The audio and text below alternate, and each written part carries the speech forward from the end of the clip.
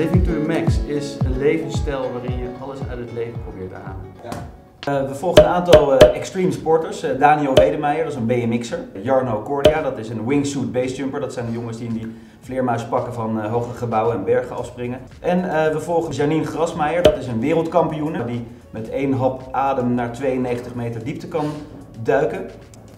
Er was een moment dat ik erachter kwam dat Max Verstappen in de Formule 1 ging rijden. Toen kwam ik een vrij hysterische redactie oprennen. Toen halverwege, waarom vind ik dit nou zo gaaf? En toen zijn we dat gaan uitzoeken. Hansje is gewoon een enorm groot fan van Max Verstappen en die zocht een uh, manier om naar de Grand Prix van Monaco te gaan. En, en dat, is gelukt.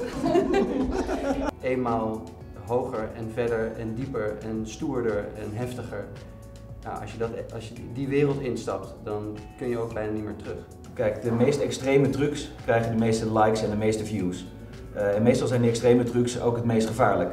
En als jij het meeste views hebt en de meeste likes hebt, dan ben je heel interessant voor uh, marketingdoeleinden. En er zijn best wat energiedrankjes, uh, voornamelijk, die, die extreme sporters een contract aanbieden als ze veel views krijgen.